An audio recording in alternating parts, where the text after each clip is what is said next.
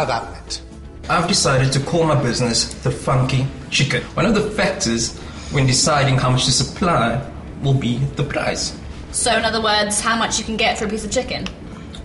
And would a higher price cause you to supply a higher or a lower quantity? The higher the price, the more profits I'll make, and that will push me to sell more. That's right.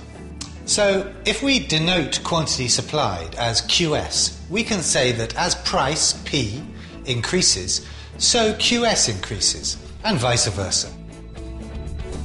Looking back, how does this price supply relationship differ from the price demand for fried chicken pieces? Well, in the demand formula, a higher price leads to a drop in quantity demanded. It's a negative or inverse relationship. But with supply, a rise in price leads to a higher quantity supplied, which is a positive relationship.